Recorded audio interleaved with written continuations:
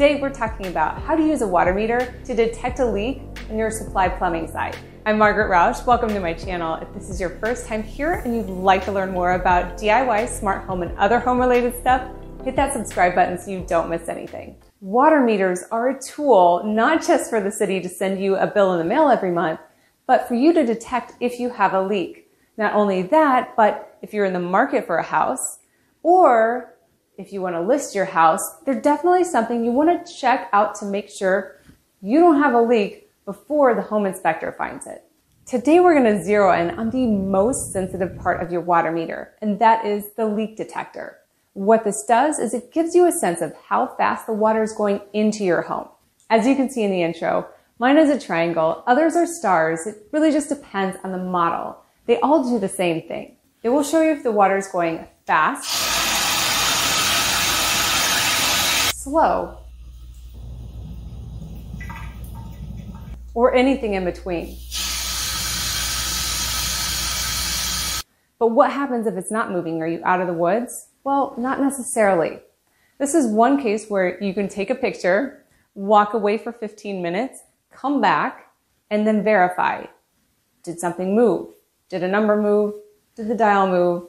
Are you looking at that same triangle? Is it in the same spot?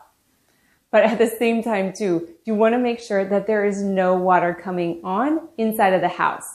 Not just something like accidentally flushing the toilet, but also things like the ice maker. Something that would be an oops to really mess up your measurement there. Here you can see for yourself, this is the most boring time lapse I have ever shared on this channel so far. That absolutely nothing is happening for 15 minutes. I love my Wyze cam time lapses, but you can see for yourself proof there are no leaks in my house at this time.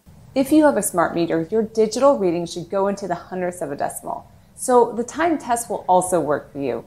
One of the major benefits of cities moving to smart water meters is sending leak notifications to homeowners if a potential issue is detected.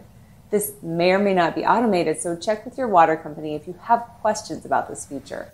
This gives you the ability to know there's an issue much sooner than having to go outside and look at your water meter.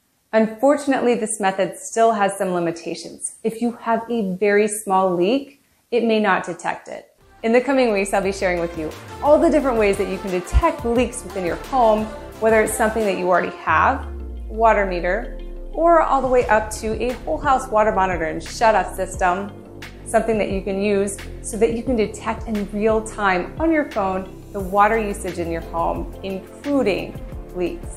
I hope you found this helpful and hit that like button if you did, and I will see you next Friday.